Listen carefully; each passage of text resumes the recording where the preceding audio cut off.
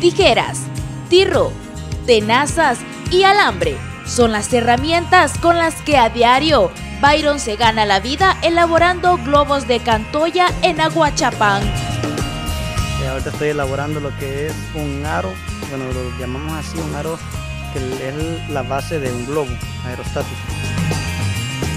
Este cipote durante un par de años se ha encargado de darle color y alegría a diferentes eventos de su pueblo.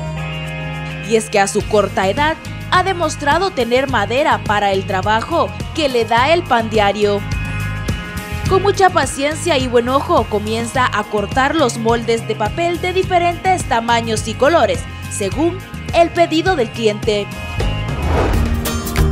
Con mucho cuidado les coloca pega por ambos lados.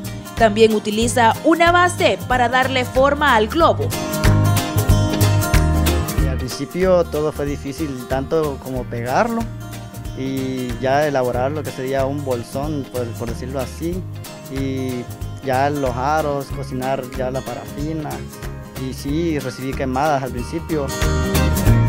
Diferentes colores y tamaños son las creaciones que realiza con paciencia y mucha dedicación, ya que los pedidos no son pocos y su trabajo se ve reflejado en los tradicionales globos de Cantoya. La primera vez fueron 250 globos, eh, eh, duplicaron el pedido, fueron 500.